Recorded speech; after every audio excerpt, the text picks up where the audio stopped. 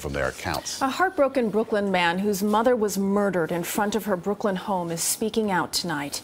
As CBS 2's Pablo Guzman reports, he's pleading to help find the killer.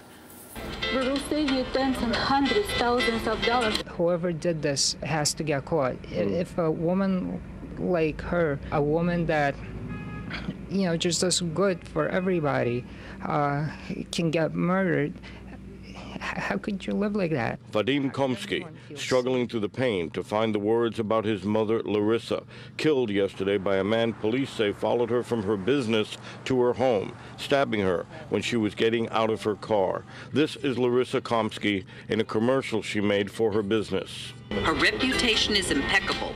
I can't believe it. I, I don't think it's true. I just, I just want to wake up. This is a bad dream that's just not ending right now. Not ending because a killer is still out there. A bad dream because Larisa Komsky was her son's inspiration. She built her accounting business in Sheepshead Bay from nothing. She helped build a synagogue in her neighborhood. Step forward.